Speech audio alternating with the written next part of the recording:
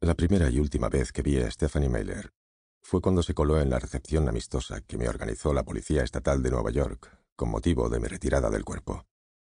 Aquel día, una multitud de policías de todas las brigadas se había reunido bajo el sol del mediodía frente a la tarima de madera que colocaban en las grandes ocasiones en el aparcamiento del Centro Regional de la Policía Estatal.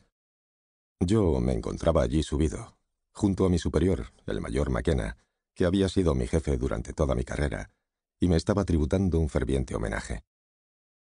Jesse Rosenberg es un capitán de policía joven, pero por lo visto le corre mucha prisa irse, dijo el mayor, dando pie a las risas de los asistentes. Nunca habría imaginado que pudiera irse antes que yo. La verdad es que la vida está mal hecha. A todo el mundo le gustaría que yo me fuera, pero aquí sigo. Y a todo el mundo le gustaría que Jesse se quedara, pero Jesse se nos va. Tenía 45 años y dejaba la policía sereno y feliz. Después de 23 años de servicio, había decidido aceptar la pensión que ya me correspondía para sacar adelante un proyecto que llevaba mucho tiempo acariciando. Aún me quedaba una semana de trabajo, hasta el 30 de junio. Luego empezaría un capítulo nuevo de mi vida. Me acuerdo del primer caso importante de Jesse, siguió diciendo el mayor. Un cuádruple asesinato espantoso que resolvió brillantemente cuando nadie lo creía capaz de hacerlo. Era aún un policía muy joven. A partir de ese momento, todo el mundo se percató del temple de Jesse. Todos los que se han codeado con él saben que ha sido un investigador excepcional. Incluso creo que puedo decir que ha sido el mejor de todos nosotros. Lo bautizamos Capitán 100%, porque resolvió todas las investigaciones en las que participó, lo que lo convierte en un investigador único. Policía admirado por sus colegas, experto al que muchos consultan e instructor de la academia durante largos años. Te lo voy a decir, Jesse. Hace veinte años que te envidiamos todos. Los asistentes volvieron a soltar la carcajada. No hemos entendido muy bien cuál es ese nuevo proyecto que te espera, Jesse.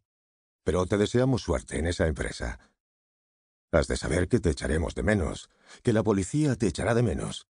Pero sobre todo te echarán de menos nuestras mujeres, que se pasaban las verbenas de la policía mirándote como si fueran a comerte vivo. Un torrente de aplausos celebró el discurso. El mayor me dio un cordial abrazo, y luego me bajé del estrado para ir a saludar a cuantos habían tenido el detalle de acudir antes de que se abalanzasen sobre el bufé.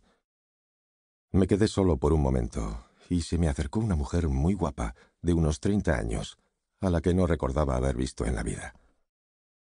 Así que es usted el famoso capitán cien por cien, me preguntó con tono seductor. Por lo visto, contesté sonriente. ¿Nos conocemos? No. Me llamo Stephanie Mailer. Soy periodista del Orfía Chronicle. Nos dimos la mano. Stephanie me dijo, ¿Le molesta si lo llamo Capitán 99%? Fruncí el ceño. ¿Está usted insinuando que he dejado sin resolver alguna de mis investigaciones?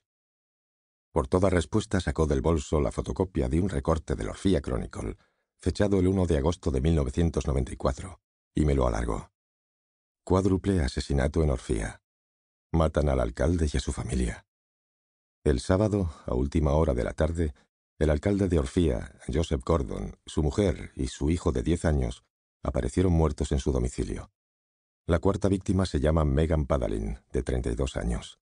La joven, que había salido a correr en el momento de los hechos, fue seguramente un testigo desafortunado.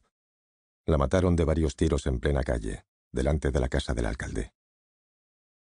Ilustraba el artículo una foto mía y de mi compañero a la sazón, Derek Scott, en el lugar del crimen.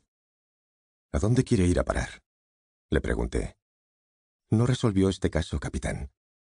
¿Qué me está contando? En 1994 se equivocó de culpable. Pensaba que querría saberlo antes de dejar la policía. Al principio creí que se trataba de una broma de mal gusto de mis colegas, antes de advertir que Stephanie iba muy en serio.